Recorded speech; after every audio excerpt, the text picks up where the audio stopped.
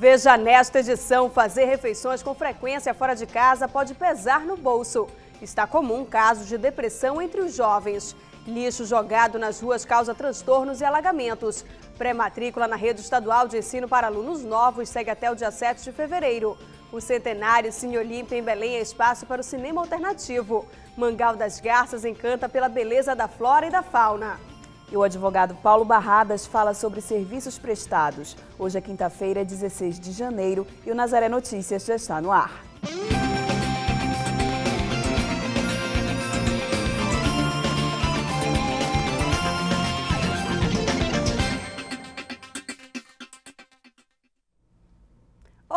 Nos centros urbanos, uma rotina é cada vez mais comum realizar pelo menos uma das refeições diárias em restaurantes ou lanchonetes. Esse é o dia a dia de muitas pessoas que trabalham em locais distantes de casa. O problema é que essa escolha pode pesar demais no bolso. É o que você acompanha na reportagem que abre o Nazaré Notícias de hoje. É o que dizem os dados divulgados pelo Instituto Brasileiro de Geografia e Estatística, o IBGE, sobre os custos com alimentação fora de casa, que são inevitáveis para quem passa o dia inteiro trabalhando e não tem como preparar suas próprias refeições. Segundo dados divulgados no início do mês de janeiro pelo IBGE, o custo da alimentação fora de casa aumentou 10%. Esse número elevou em 2013 o índice de preços ao consumidor amplo para 5,91%. A inflação nesse período ficou em 5,84%. Ainda de acordo com a pesquisa, em 10 anos, o custo da alimentação em casa subiu 78% e em restaurantes aumentou 133%. Além dos gastos com produtos quem administra um restaurante como esse, por exemplo, precisa se preocupar com outros custos, como serviços de manutenção do espaço e salários de funcionários, elementos que também sofreram reajustes em 2013. No final deste ano que passou, nós tivemos um aumento muito grande na parte de proteínas. Aumentou cerca de 30%, na qual nós tivemos que segurar o aumento. Ou seja, nós praticamente estávamos comprando e oferecendo um produto a preço de custo.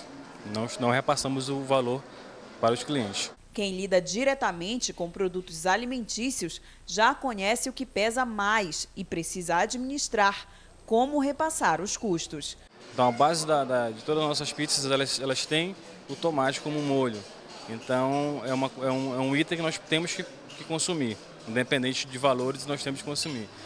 É, se a gente for falar de números mais concretos, aí, um exemplo, nós comprávamos a, a, a caixa do tomate a 50 reais e hoje nós pagamos 80, 90 reais nela. Então foi um aumento grande. Para alguns consumidores, recorrer aos restaurantes já faz mesmo parte da rotina. O trânsito de Belém já não é mais o que era, né? já ficou complicado. Acabou o tempo de tirar cesta em casa, né? Então acaba que é, é, é por conveniência mesmo, não, não dá para botar em casa, essa coisa toda. Mas há ainda quem prefira hábitos mais saudáveis e que pesem menos no bolso. Tem a questão do custo, né? Mas nem sempre é o principal motivo, é mais a questão mesmo da, da, do carinho, da qualidade, a comida caseira feita pelo nosso, nosso pessoal, que a gente confia, essas coisas todas, né? Vamos falar do trânsito em Belém. Um dos principais corredores de tráfego da capital paraense, a Avenida Almirante Barroso, será parcialmente interditada hoje à noite por agentes da CEMOB. A interdição ocorrerá a partir das 10 da noite até as 5 horas da manhã de sexta-feira. Será fechado o trecho, o trecho da fachada do Ministério da Agricultura até a frente do Parque de Exposições do Entroncamento. Os motoristas que estiverem saindo de Belém podem desviar o caminho pela Avenida João Paulo II e retornar, retornar, retornar desculpe, a Avenida Almirante Barroso pela passagem Coração de Jesus ou pela Rua Mariano, que sai na rodovia BR-316. E agora vamos falar de um tema preocupante para os pais. Todos têm um dia que estão mais para baixo ou, de vez em quando, até de alto astral. Porém, quando a tristeza toma conta, vem a depressão, uma doença que é cada vez mais comum entre os jovens. Em todo o planeta, 212 milhões de pessoas sofrem de depressão, o equivalente a 2% de todos os que vivem na Terra. A Organização Mundial da Saúde estima que quase 10% das mulheres e 6% dos homens serão vítimas da doença em algum momento da vida. Diante desses números, conversamos com este especialista sobre a depressão na juventude, uma preocupação da atualidade. A depressão ela está se tornando hoje em dia um fenômeno mundial em virtude né, da chamada hipermodernidade para alguns autores ou modernidade para outros autores, em virtude das grandes transformações econômicas, sociais, políticas, culturais que as sociedades modernas vêm passando. Né? Então o jovem ele se vê, digamos assim, dentro de um, é, uma espécie de olho de furacão, né? de todas essas mudanças, sem ele ter assim até uma leitura bem clara do que está acontecendo na sociedade. Isso lhe torna uma espécie de uma pessoa deslocada neste mundo, tentando encontrar sua identidade, seu caminho, né?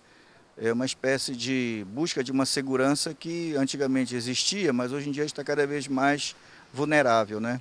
Nos adolescentes, os sintomas mais comuns são a queda no rendimento escolar, a mudança de humor, irritabilidade, tristeza e perda de interesse. Porém, estes sintomas não devem ser confundidos com comportamentos típicos da adolescência. Não há um número exato, mas segundo a Associação Brasileira de Psicanálise, cerca de 10% dos adolescentes brasileiros sofrem dessa doença. Em todo o mundo, a Organização Mundial da Saúde estima que pelo menos 20% dos jovens estejam deprimidos.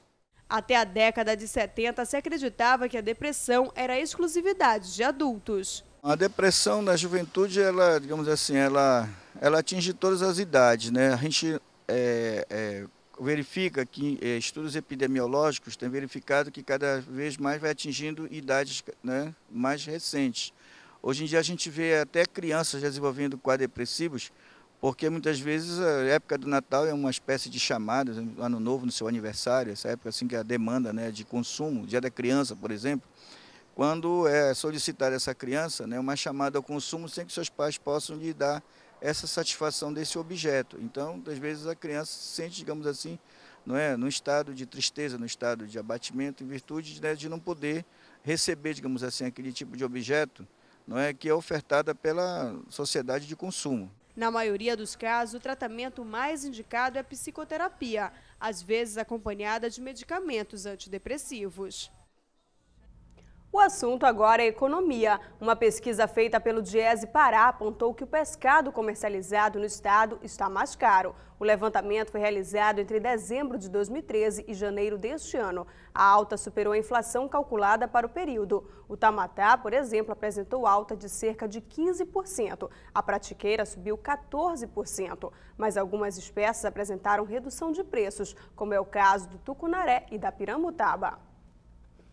No quadro de direitos de hoje, vamos falar sobre os serviços prestados por diversos tipos de empresas. De acordo com o PROCON, os principais motivos de reclamação dos consumidores são a telefonia móvel, internet, planos de saúde e companhias aéreas. A repórter Patrícia Nascimento conversa com o advogado Paulo Barradas. Patrícia. Isso mesmo. Antes da gente começar essa entrevista, a gente lembra sempre que você pode participar pelo 4006-9211. Você fala a sua pergunta, fala com o pessoal da nossa central de atendimento, diz a sua pergunta e a gente responde aqui ao vivo. Doutor Paulo, é, a Larissa acabou de dizer alguns né, dos, dos, dos locais em que esses, essas reclamações são mais frequentes: telefonia, é, passagens aéreas, Sim. energia. Para cada um desses serviços, existe uma legislação específica ou existe uma geral que rege os direitos do consumidor? Olha, em princípio, o direito do consumidor ele é regido pelo Código de Defesa do Consumidor, que é geral para todo tipo de relação de consumo para aquisição de produtos e de serviços. Isso é geral para todo mundo. Mas, em alguns setores, como é o caso desses que normalmente despontam como campeões de, de, de, de reclamações e demandas judiciais, inclusive, é, existem regras específicas que, nesse caso, são trazidos pelas agências reguladoras. Então, o primeiro aí que foi citado são planos de saúde, que é oferecido, aliás, não foram planos de saúde, foram telefonia móvel, né? telefonia. né? Telefonia móvel, que é regido pela Agência Nacional de Telecomunicações, pela Anatel. Ou seja, as empresas privadas podem prestar esse serviço no mercado, desde que sobre as regras da Anatel, que são regras que excedem aquelas gerais do consumo, porque são específicas para o caso da telefonia. Os planos de saúde, Agência Nacional de Saúde. Foram falados também mais dois assuntos, além desse, quais foram? Energia. Energia elétrica, Agência Nacional de Energia Elétrica, ANEEL, também trazendo é, especificidades do setor. E passagens aéreas, Isso. ANAC, Agência Nacional de Aviação Civil. Então perceba, e muitos desses, desses temas e desses serviços eram prestados no passado pelo próprio poder público. Você lembra que na época da telefonia, que só existia a telefonia fixa, havia a Telepará aqui em Belém. A Telepará era uma empresa de economia mista, onde parte do capital era do Estado e parte do capital era da iniciativa privada. Ou seja, o Estado estava lá presente, prestando serviços e se responsabilizando pela qualidade deste. Hoje o poder público não faz mais isso porque o Brasil mudou de postura de uns tempos, de umas décadas para cá, e aí passou a fazer o modelo gerencial. Ele gerencia o serviço que vai ser prestado pelo particular. E aí acaba surgindo esse imbróglio porque o Brasil não tem se mostrado, as agências não têm demonstrado eficiência ao gerenciar os setores. Agora é dado ao consumidor, doutor Paulo, o direito de fazer qualquer tipo de questionamento. Por exemplo, é possível questionar o valor da conta cobrada? É possível questionar. Um dos direitos básicos do consumidor é o direito à informação. E eu não sei quantos pulsos ou quantas unidades eu usei do meu telefone se ele for pós-pago. Se ele for pré-pago, pior ainda, às vezes o cartão ele é consumido com uma velocidade, às vezes o cartão ele é consumido com outra velocidade. O que é que determina isso? Como é o meu consumo? Eu, eu como consumidor, eu tenho que ser informado disso. Se eu não sou informado, tenho todo o direito de questionar. No caso de contas de energia, por exemplo, isso é possível? De energia elétrica. Antigamente, a energia elétrica é bem grave isso. Antigamente, os medidores de energia ficavam dentro da nossa casa, sob nossa responsabilidade. A empresa veio, obrigou a ficar lá fora, e disse o seguinte: vai ficar lá fora, mas você continua sendo responsável. Ela lacrou, eu não posso dar manutenção no equipamento de medição, ele fica exposto à chuva, e aquele material, eu não sei que material é, porque eu não fui, é, eu não tive oportunidade de escolher um material de qualidade, já que a responsabilidade é minha, ficou tudo obrigado pela empresa. E no fim, quando quebra, eu que tenho que me responsabilizar pela quebra. Então são serviços assim abusivos, arbitrários, que eles não devem é, deixar de ser questionados em juízo.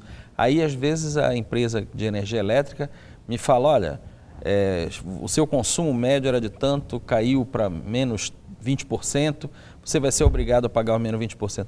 Por quê? Eu só sou obrigado a pagar o que eu consumi, eu não sou obrigado a nenhum consumo médio. E se eu desativei um aparelho de ar-condicionado, se eu desativei um chuveiro elétrico na minha casa, obviamente o consumo vai cair. E eles ainda dizem mais, não, mas está lacrado lá, nós vamos fazer a perícia no medidor que está lacrado. Ora, o lacre não é meu, é deles, eu não sei se eles deslacraram, mexeram, lacraram de novo e levaram para a perícia. Então não há a mínima idoneidade e aí isso tudo tem que ser questionado pelo consumidor e com toda a razão. No, no, no, no PROCON? No PROCON, na, na, na rede de proteção ao consumidor que pode ser no PROCON, dependendo do caso, pode ser no DECON, na Delegacia de Crimes contra o Consumidor, ou até em juízo, nas várias especializadas do consumidor. Tá certo, doutor Paulo, a gente continua conversando no próximo bloco. A gente lembra que você ainda pode participar pelo 40069211. Agora é com você, Larissa. Obrigada, Patrícia. Motos, carros e ônibus disponibilizados para o leilão do Detran já podem ser visitados em Belém. Os interessados devem ir até os parques de retenção no horário de 9 da manhã ao meio-dia. Os veículos serão leiloados no dia 22 de janeiro no Centur. Para participar do leilão, as pessoas devem verificar as condições dos veículos. Hoje acontece em Castanhal o leilão de 267 veículos. Também haverá leilões em Paragominas, Tomé Açu, Bragança, Capanema, Salinópolis, Barcarena, Capitão Poço, Abaitetuba, Cametá e Mãe do Rio. Cerca de 600 toneladas de entulho são recolhidas diariamente pela Secretaria de Saneamento de Belém. O lixo que é descartado nas ruas, principalmente nesse período de chuvas intensas, é a principal causa de alagamentos. Além de entulhos, cerca de mil toneladas de lixo comum são recolhidas na coleta regular em Belém. Segundo a Secretaria de Saneamento, durante o ano inteiro, 400 pessoas trabalham na limpeza dos canais e desde o mês de dezembro do ano passado, 800 funcionários da CESAM atuam na operação de intensificação da limpeza dos principais canais de Belém. Nós temos quase 100 quilômetros de canais. Né? Então, se você for verificar, é muito difícil você manter esses canais limpos. você tem 14 bacias hidrográficas, onde a gente procura manter limpo, mas é muito difícil, até porque o investimento ser muito alto. E nós temos locais, bacias hidrográficas, que estão comprometidas com assoreamento, né, muita lama e muitas palafitas, que por invasões pelo crescimento desordenado, você verifica que as casas ficam em cima dos canais, prejudicando esse escoamento. O entulho não deve ser misturado com o lixo doméstico. Cada um deve ter um destino adequado. A CESAM deve prestar o serviço de recolhimento, exceto em situações em que o entulho é gerado em grandes volumes por obras comerciais, como a construção de prédios, por exemplo. Nesses casos, a responsabilidade do descarte adequado deve ser de quem gerou o material e que, segundo a CESAM, deve solicitar à Secretaria a autorização para o despejo adequado no lixão do Aurá. Você tem a coleta domiciliar. Essa coleta é responsabilidade da Prefeitura de Belém. O entulho, popularmente falando, entendeu? Ele é, é gerado por inúmeros materiais. Como, por exemplo, né, você faz uma obra na sua casa, aí você tem aquele resíduo que a gente chama RCC, resíduo da construção civil. Quando você tem pequena quantidade, a CESAM pode, através do 156, coletar, desde que você ligue e agende essa coleta. De acordo com o Código de Postura do município, quem descartar lixo ou entulho irregularmente pode pagar multa de até 610 reais para solicitar o serviço de recolhimento dos resíduos ou para denunciar irregularidades, a população pode ligar para o número 156. Ela deve acondicionar direitinho e colocar próximo da, da hora do passagem do carro. Já o entulho, tá certo? ela deve colocar em sacos resistentes de até 100 litros. E a Cezan, até um metro cúbico, ela vai e coleta. Ela tem que ter um pouco de paciência para esperar. Vai levar um tempinho, 72 horas, a gente dá mais ou menos esse período, e nós vamos coletar. Mas existe também sofá. Né? Você tem uma ideia, em cinco ruas que nós percorremos, tinha 32 sofás descartados, jogados aí, um perigo, dentro dos canais, entendeu? É, nos pontos críticos que a gente chama de lixo, de acúmulo muito lixo, e aí ela tem que ter um pouco de paciência. Ela pode desmontar o sofá, amarrar, ligar para o 56, que nós vamos coletar também. Mas ela tem que ter essa paciência e contribuir para que o meio ambiente fique limpo e saudável.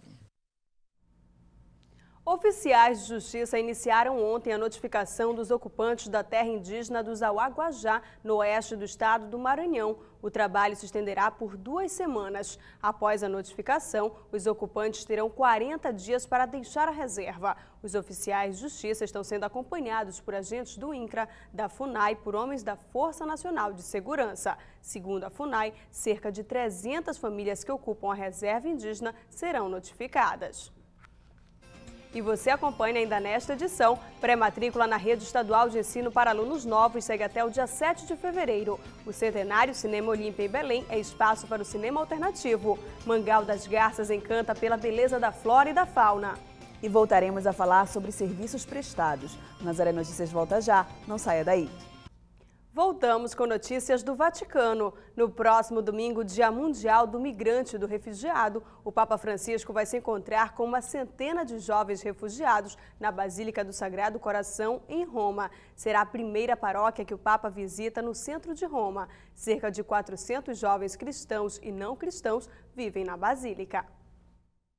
E o Papa Francisco também confirmou a presidência e os membros da Pontifícia Comissão para a América Latina. O presidente é o cardeal canadense Mark Ouellette. Entre os conselheiros e membros confirmados estão os cardeais brasileiros Cláudio Umes, Odilo Scherer, Raimundo Damasceno e Dom Geraldo Lírio Rocha. A única mudança foi a nomeação do recém-criado cardeal Lourenço Baldisseri, secretário-geral do Sínodo dos Bispos, como conselheiro. Dom Lourenço foi núncio apostólico no Brasil durante 10 anos.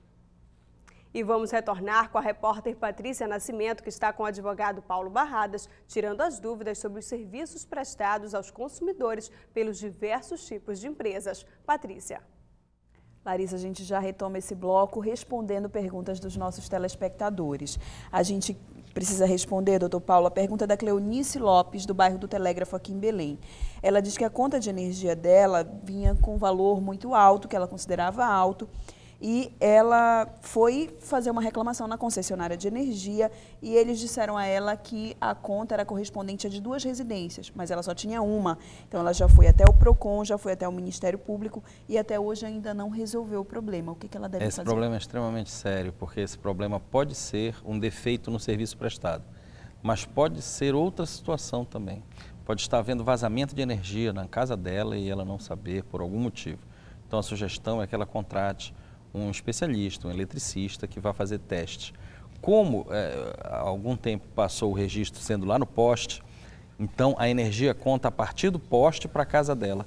E pode ser que nesse caminho um vizinho tenha interceptado e esteja também utilizando a energia elétrica que ela está pagando. E isso aí o eletricista vai é, atestar. O que está aparecendo, pela modificação do padrão de consumo muito abrupto, é que alguma coisa está errada realmente. Ou vazamento ou então interceptação ilegal por algum vizinho.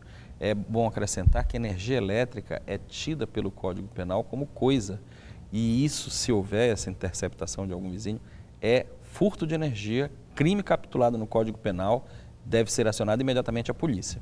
Existe um prazo, doutor Paulo, para que a concessionária de energia atenda a um pedido do consumidor de reparo ou de outro serviço? Ah, o pedido deve ser atendido imediatamente. Quando a gente firma uh, o contrato de prestação de serviço com qualquer fornecedor, esse serviço é ininterrupto, porque o meu pagamento também é ininterrupto. Se eu sou obrigado a pagar todo mês, ele é obrigado a me prestar o serviço o tempo todo. Então eu não posso ficar privado desse serviço. Essa prestação de serviço tem que ser imediata e enquanto ele não prestar o serviço, é, ele tem que me a, apresentar uma alternativa para que eu não fique sem aquela prestação.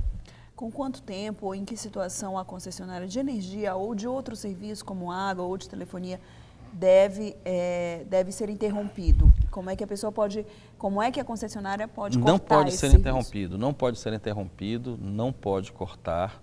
Por exemplo, quando eu contrato o internet, é, a prestadora de serviços que vai me possibilitar a internet, eu estou pagando pelo que ela me vendeu. Aí ela está me dizendo que ela vai me dar tantos megabytes, Aí chega na hora, quando eu ligo meu computador, tem lá, sem acesso à internet. Pô, eu não estou tendo o serviço que eu adquiri. Logo, eu fui enganado, isso é um estelionato. Isto é impossível acontecer na relação comercial. Aí as empresas se defendem. Não, nós não podemos prestar tudo aquilo que nós vendemos porque o governo não deixa a gente colocar antenas em tudo quanto é lugar. Ora, se você não tem antena, não venda o serviço. Porque senão você estará vendendo algo que você não dispõe no seu estoque ou não tem condição de entregar. E isto aí é um estelionato do mesmo jeito. Então, o tempo, como cada caso é um caso, o tempo pode ser razoável, mas eh, o ideal era não suprimir de forma alguma a prestação de serviço. Mas já que suprimiu por um acidente, porque acidentes acontecem, a gente também não pode ser absolutamente rígido nesse, nesse ponto, é, a correção tem que ser tão logo possível. Por exemplo, a energia elétrica, eu não posso escolher o fornecedor de energia elétrica, só tem um fornecedor de energia elétrica que me é obrigado que eu consuma dele.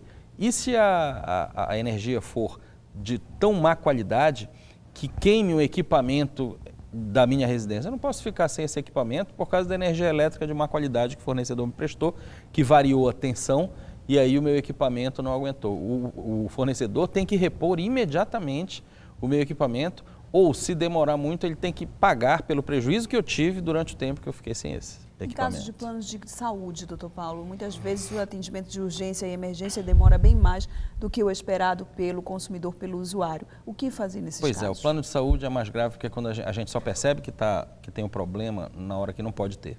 É na hora que a gente está numa situação crítica e está, inclusive, vulnerável, né? o que é mais grave. Recentemente foram emitidas diversas normas específicas pela ANS, inclusive o plano de saúde tem prazo para oferecer consulta, tem prazo para oferecer exame, enfim, se isso não for é, feito, deve ser procurado, duas providências devem ser tomadas.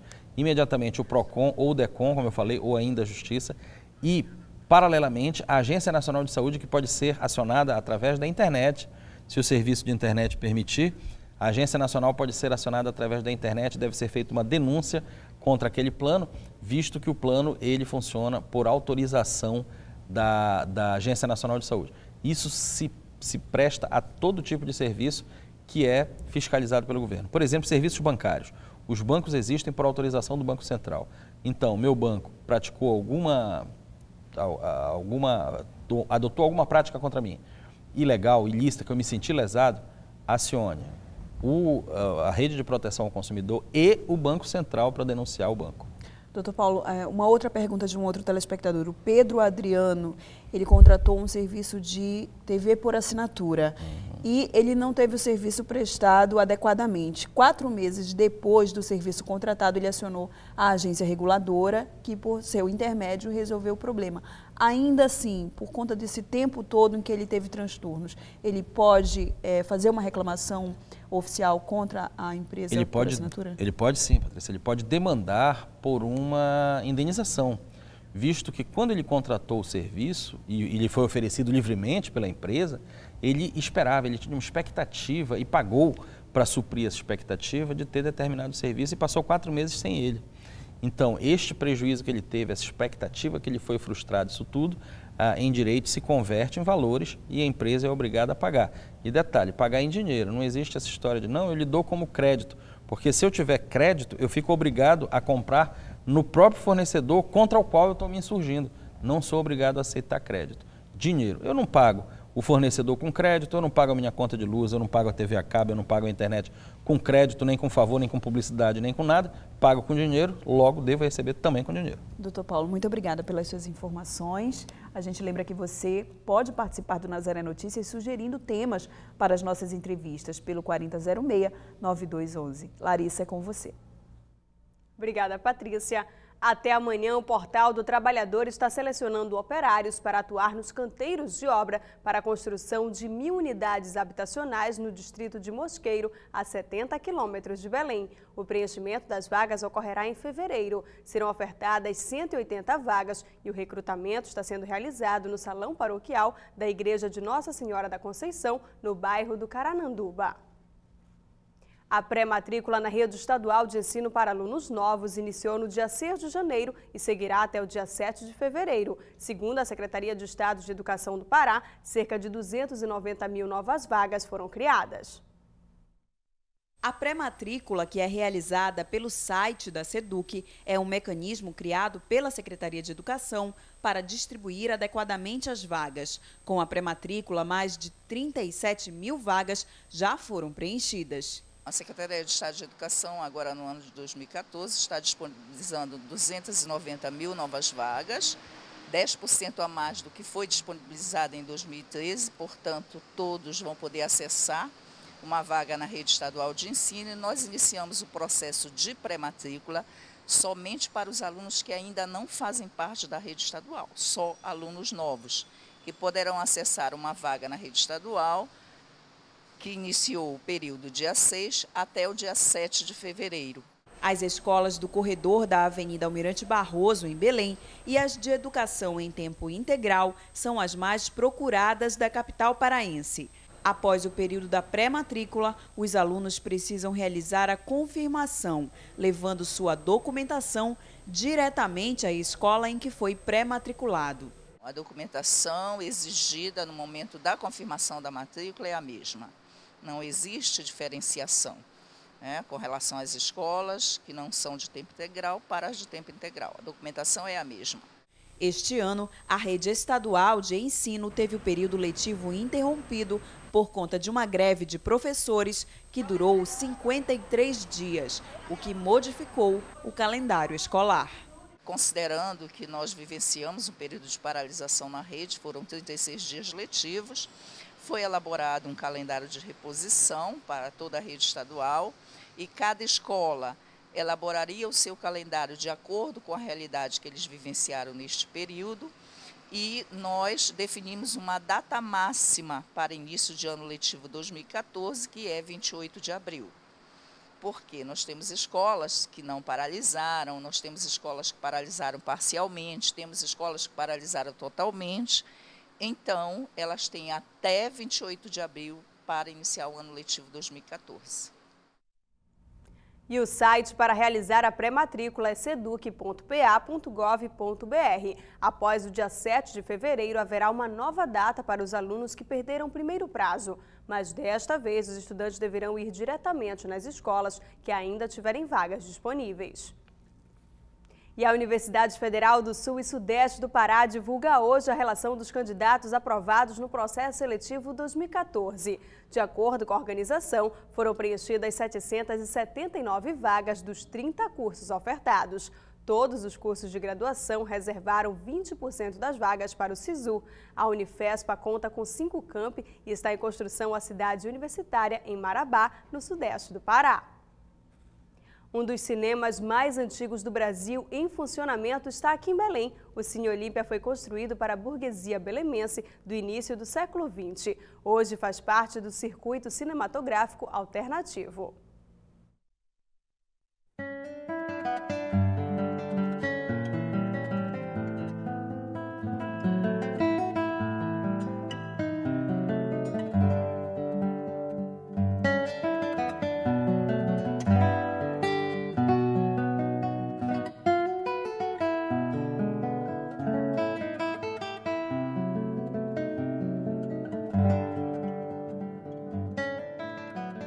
Olímpia foi fundado no dia 24 de abril de 1912 pelos empresários Carlos Teixeira e Antônio Martins, donos do Grande Hotel e do Teatro da Paz.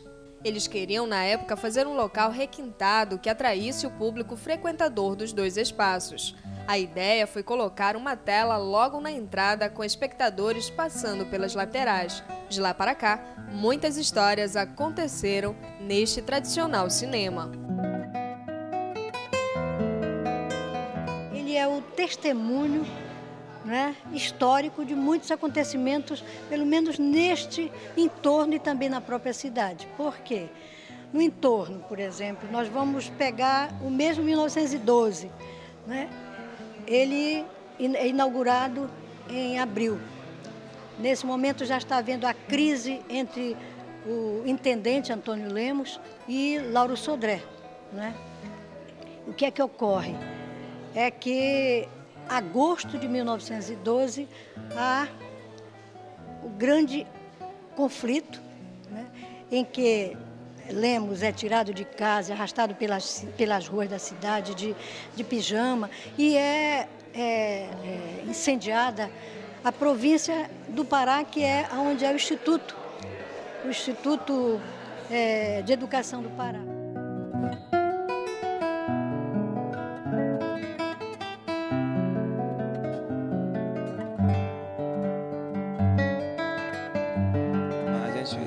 Olha um pouco para trás, né?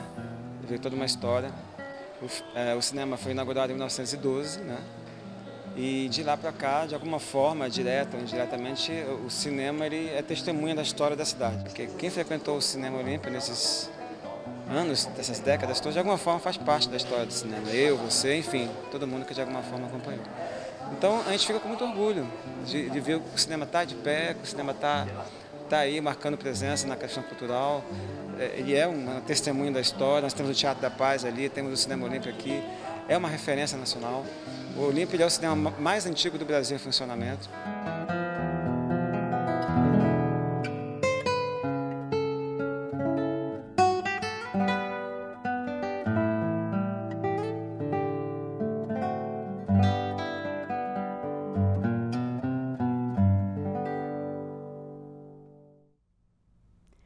Estação das Docas apresenta a exposição internacional Jardins Fazem a Cidade, do fotógrafo francês Michel Courbot. A mostra tem imagens de áreas verdes de várias partes do mundo, além de cartões postais de espaços públicos e privados, que faz reflexão da importância dos espaços verdes nas grandes cidades.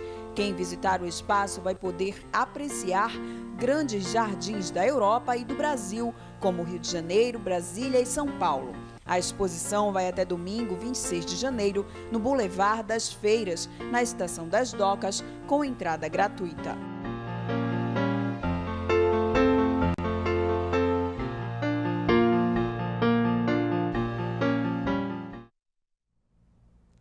Ainda estamos celebrando o aniversário de 398 anos de Belém e muitos lugares encantadores na capital paraense se destacam pela beleza, atraindo turistas e visitantes. Um deles é o Mangal das Garças, um lindo refúgio de plantas e animais da nossa região. Vale a pena conferir.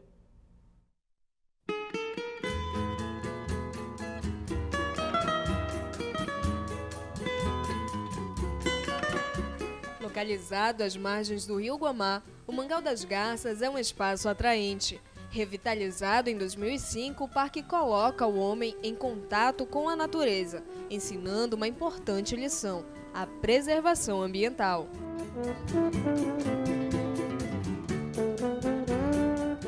Esta era uma área alagada que foi cedida pela Marinha para a construção do Mangal das Garças. O espaço tem 40 mil metros quadrados e recebe por ano cerca de 280 mil visitantes o parque os zoológicos em si são muito importantes para a questão de educação ambiental e também reprodução de espécies, manutenção de, de animais é, que foram apreendidos de IBAMA, animais que precisam de reabilitação, bem como reprodução de espécies ameaçadas de extinção. O Mangal das Garças abriga principalmente aves e répteis. No plantel existem 60 espécies e cerca de 550 animais. Há também a presença de animais livres que, quando se somam aos habitantes do Mangal, aumentam essa população para mil indivíduos. Para manter o bem-estar de toda essa turma, existe um cuidado especial. Aqui nós temos um apoio técnico né, diário de um veterinário, de um biólogo, uma equipe composta por sete tratadores, um manejo nutricional adequado, uma alimentação balanceada, avaliação clínica e ambientação desses animais para uma melhor qualidade e bem-estar. O Mangal das Garças entrou para a rede brasileira de jardins zoobotânicos. Para efetivar essa nomenclatura, basta realizar uma lista da flora presente nesse espaço. É, assim como já foi feito um levantamento da fauna e nós constatamos que temos, em média, 50 espécies é, e 500 indivíduos, e fora os de vida livre, que totaliza quase mil animais, está sendo agora feito um levantamento também da flora para que o Mangal possa é, ser titulado como um parque zoobotânico. Um espaço aberto ao público. Aqui, os animais andam livres e o meio ambiente agrada a todos os sentidos humanos. Isso tudo está acessível e só pede em troca uma coisa: o cuidado com a natureza. Após feito o levantamento, o inventário, isso vai ser muito importante também para a educação ambiental, para assim como as pessoas conhecem, é, já conhecem as espécies de, da nossa fauna que compõem aqui o parque, vão conhecer também a flora.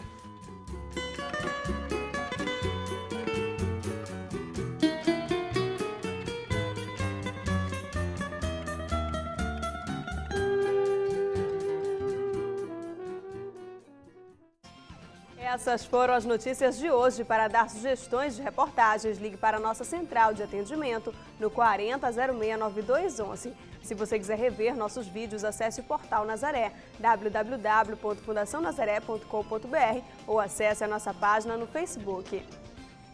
O Nazaré Notícias de hoje fica por aqui. A gente se encontra amanhã na próxima edição. Até lá!